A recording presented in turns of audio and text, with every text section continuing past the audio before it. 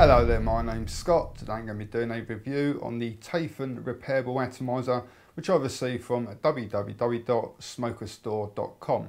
Before I start though, I must point out I did receive it free of charge for the purpose of conducting a review but my opinion of the product remains true on its necret as always. Okay, let's go straight ahead, show you how to get it all set up and uh, have a look in a bit more detail. Okay, so the Taifun repairable atomizer can be set up in uh, quite a few different ways. You can use it with type A tanks, you can use it with type B tanks, you can set it up very similar to how the, uh, the spheroid works. You can set it up as a Genesis style atomizer, etc, etc. Now according to the website, you basically go along and you select the base section first, which are these parts here, and then separately you then uh, choose what sort of configuration you want it set up as. Now the uh, like the base sort of package consists of like the main body of the atomizer, an ego cover. So if you're going to use it on like an ego style battery, you can obviously uh, just put this on. It's going to hide all the threads and make it look a little bit smarter. And you're going to get this uh, pole extension. So if you want to use or set it up as a Genesis style atomizer, you just uh, remove one of the terminals, replace it with these, and you can add a stainless steel mesh wick. Also included is a little carrying pouch to uh, carry it all around in, and a bag which contains some 2mm fiberglass wick and some 0.20 gauge wire. All made out of stainless steel, the machine quality is excellent, all the parts screw together very nice and smooth indeed. Uh, has a 510 connection so it can be used on any device, also has a 510 atomizer connection and uh, the centre pin is adjustable so if you're finding that you're not getting a good contact you can just use a Phillips screwdriver to unscrew it a little bit and you're going to get a really nice uh, solid connection there. Okay, so like I said, the Taifun is available in a few different sort of configurations and you basically buy the base section on its own and then you sort of separately choose what uh, sort of setup you want to go with it. Now I've tried uh, all the setups and uh, this one here is by far my favourite of the bunch. I'm going to concentrate on this one for the actual review. Now this works very similar to the uh, the spheroid where it uses the like a uh, sort of Sera uh, filter material inside here and also I'm going to show you that in a second. Uh, now, if you go onto the website and you want to sort of choose this option, it is a German website, and if you use Google Translate, it comes up as a Typhoon cotton tank. But it's obviously, uh, there's no cotton in there, it is the like the Sera sort of fish filter material. Okay, so let's uh, strip this down and then uh, show you how to set it up. Okay, so the first thing you need to do is remove this long pole here, which is basically a wick holder. And it's used in uh, some of the other setups, but it's not needed in the way that I'm going to set it up now. So to remove it, you just got to grab hold of it tight, give it a pull and a bit of a wiggle, and it uh, will eventually slide out. Okay, so like I said, the uh, the Taifun base sort of package does come with some wick and wire. I've not actually used any of the wick and wire that comes with it though, I've just been sort of sticking with my own stuff because I've got plenty of it basically. So what I've done is I've taken a piece of uh, wick and I've just sort of doubled it over. Uh, the wick was about sort of 10 centimetres long, so once it's doubled over, probably looking around sort of five centimetres. I'm just going to hold it roughly in the middle and uh, take some uh, 0.20 gauge Kanthal wire, hold it all in, in, between my finger and thumb, and then just wrap around sort of five coils, something like that. Actually four coils, that should do me. And I want to have it so uh, both ends of the wire are sort of uh, on the same side. Okay, at this stage, I just want to quickly point out that these two here are your terminals, your positive and your negative. And this little sort of nubbin is like uh, your air hole, and it's linked down to this hole on the side there. Now, when you add your coil, you want to make sure that the coil is placed directly above the air hole on this side. If you add the coil on this side, you're going to get quite bad vapor production. So just make sure the coil is placed directly above the air hole, and you should get uh, plenty of vapor. Okay, so what I'm going to do now then is just hold the coil in place so it's directly above that air hole and take one of the uh, one of the wires, feed from the inside underneath the screw head and feed this all back around and take a Phillips screwdriver and just tighten it up. Like so. And then just basically repeat it with the other end of the wire. So again, coming from the inside, underneath that, uh, that screw there, take a Phillips screwdriver and tighten it up. So it should look a little bit like that.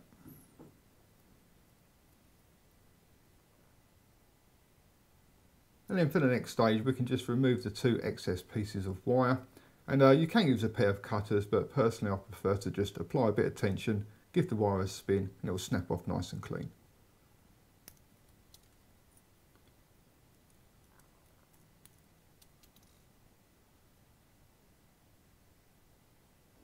So now the coil has been put in place, I'm just going to attach it to my ProVari and do a quick ohm reading, to see what sort of resistance I'm getting.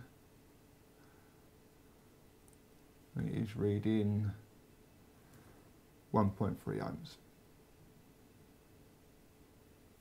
And as you can see, all the coils are glowing nice and evenly. Now the uh, two pieces of wick don't need to be uh, quite this long, so I'm just going to sort of use a pair of scissors to trim them up. And I'm going to leave them so probably around sort of around sort of 15 millimeters long.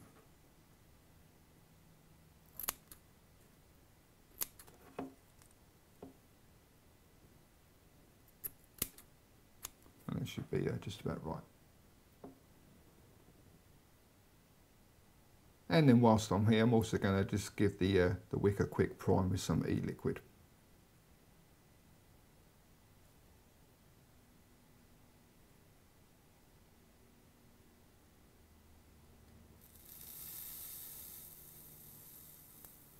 Seems to be fine. Okay, so like I said, the uh, the Taifun can be set up in quite a few different sort of configurations. And uh, in this review, I'm going to be concentrating on a setup that makes it very similar to uh, quite a popular atomizer called the Spheroid. And uh, this uh, setup, you know, really does uh, work very nicely for me personally. Now, it uses this um, sort of um, fish filter material, and it doesn't actually come with these parts, unfortunately. You will need to get that separately, but they do sell it on the website. Uh, now, I've already got a piece here that's uh, cut to size, and I've been using this piece now for around four weeks, something like that. And uh, you know, every time you know I want to change flavour, if it starts looking a bit grubby, I you know I just rinse under a cold tap, pat it dry, and so you can start using it again. So it is a uh, quite economical stuff. So uh, as it's already cut to size, all I need to do is just uh, wrap it around this uh, sort of shaft, like so, and then uh, just take the the tank and just screw it into that, and that's it, pretty much done really.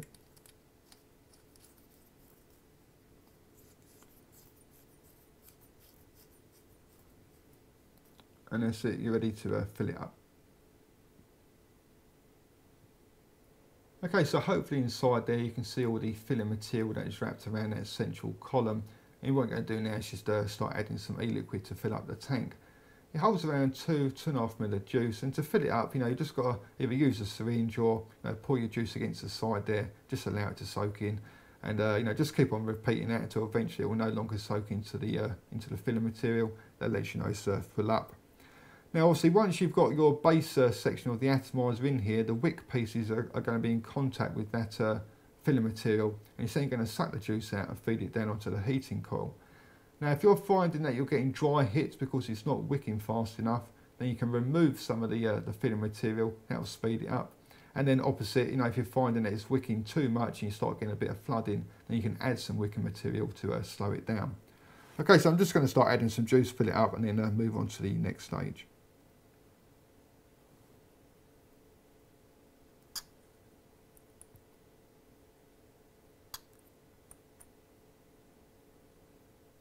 Okay, so the tank has been filled up with some e-liquid and the coil is all primed and raring to go. So all I need to do now is connect the two pieces together. Now what I do is I just uh, squeeze the wicks like that, push them in and uh, screw it on, you know, nice and simple. And then finally just need to uh, add my drip tip in the top there and that's it, all ready to go. Okay, so that is the Taifun repairable atomizer in what Google translates as a typhoon cotton tank. Let's go ahead and see what it vapes like. Okay, so that is the Taifun repairable atomizer. And like I said in the close-up shots, it is available in quite a few different setups, but each setup is purchased separately, so it doesn't come in like a, a big bundle, unfortunately. So the one that I'm going to be concentrating on is what Google translates as a Typhoon cotton tank. So if you go onto the website, click the old Google Translate button, and you should be able to uh, work out what one I'm using here. So I filled up the tank with some 18 milligram strength tobacco flavoured e-liquid. It's just a, a PG based e-liquid. The coil is now reading 1.5 ohms and I've got it on my Mini ProVari which is currently set at 3.7 volts.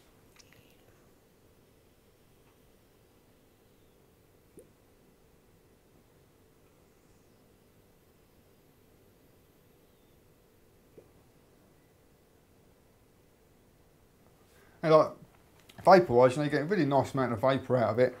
And uh, obviously I'm using a ProVari here, which is a, a, variable voltage device. But you know, even if you've only got like um, like a standard sort of Ego battery, which is going to be around the same sort of voltage what I'm using here, you know, you should still be able to get a really nice amount of vapour out of it.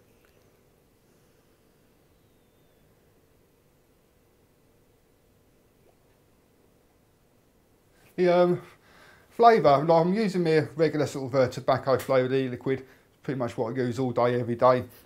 And you know, I'm finding you know it really is uh, very good for bringing out the flavour. You know, it's really coming through nice and strong.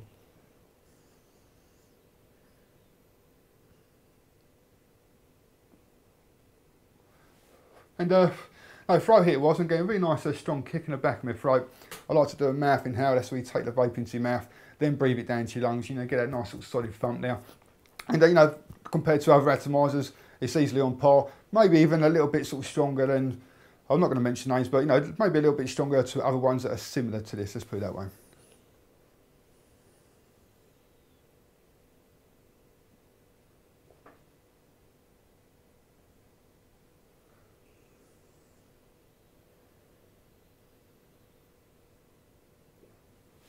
Now, overall, it's been a, a really nice vape. Um, one negative about it though is that when you first get it in this mode anyway, you will be pulling your hair out for the first sort of day probably to try and work out the correct amount of filling material that you need to put into the tank. If you put in too much, it just doesn't wick and you start getting sort of really nasty sort of dry hits. If you put in too little, then it just sort of pisses straight out basically. And then like if you leave it alone for any sort of length of time, you're just going to find your mod covered in e-liquid. But like uh, once you have worked out the uh, correct amount you need for the sort of viscosity, whatever that word is, of your e-liquid, because obviously thicker e-liquids are going to require less amount of uh, material to make sure it wicks properly, and thinner ones will probably require a little bit more material to make sure it doesn't sort of fall straight out.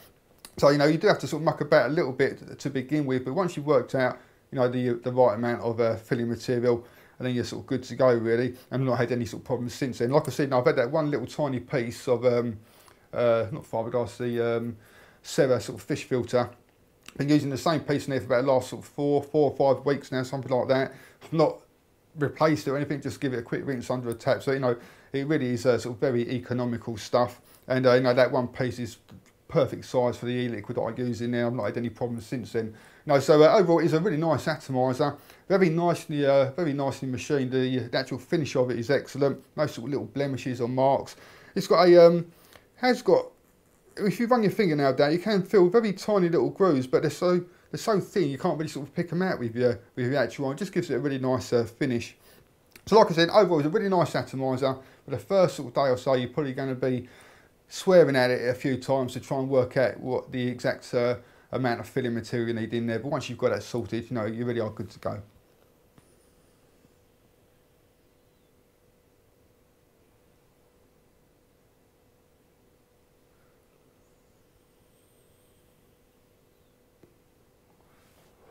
Not a great deal else I can really tell you about it. Now, if you fancy trying one out for yourself, go along to www.smokerstore.com. Thank you very much for watching and also come along and visit my website at www.esigreviews.com it's e-sig-reviews.com. Cheers guys, happy vaping, see you later.